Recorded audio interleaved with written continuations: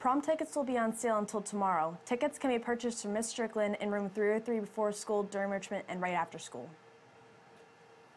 The following students need to see Mrs. Strickland today.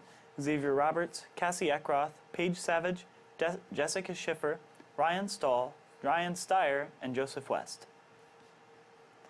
A reminder that girls soccer team will be staying after school today to practice. Anyone interested in soccer should attend. See Coach Hiller for questions.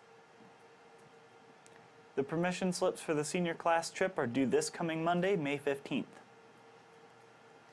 There will be a senior class meeting this morning in the cafeteria. All seniors should report to the cafeteria immediately after announcements. This week, SAD is sponsoring a program to ask drivers to make a pledge to never text while driving. Representatives will be in the hallway outside the locker room entrance before enrichment and in the lobby between 11:15 and 11:30 this week. Juniors and seniors who drive and are willing to take the pledge to never text while driving can do so during these times any day this week. The, the spring sports banquet will be held on Friday, May 19th at 6 p.m. in the school cafeteria. Tickets are on sale for $10 at Mr. Payne's room during enrichment only. Tickets will be on sale until May 16th. Please see Mr. Payne with any questions. The Captains Club will be hosting a Powder Puff football game on June 2nd after school at 4:30 p.m. Please see Brooke Mertz to sign up. You can also sign up during lunches.